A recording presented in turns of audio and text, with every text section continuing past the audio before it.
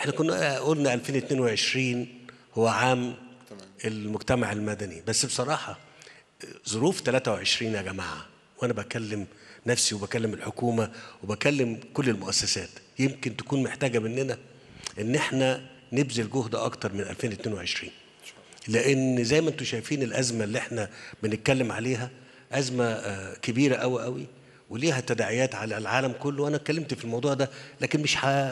يعني هتكلم فيه تاني إن الأزمة دي أزمة كبيرة وليها تأثير كبير.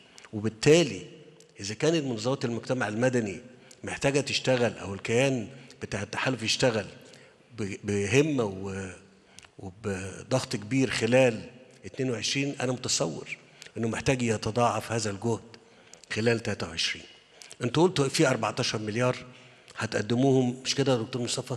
هتقدموهم وال أنا بدعو للجميع للمساهمة أكتر وإحنا من جانبنا كحكومة أو حتى من صندوق زي صندوق تحيا مصر وبقية الصناديق نكمل الرقم ده أكتر من كده. مش عايز أقول رقم محدد عشان المساهمين يزودوا وعشان كمان الحكومة تبذل جهد معانا في إن إحنا نخلي الحركة وال وتواجدكم التنفيذي اللي أنا بهنيكم عليه.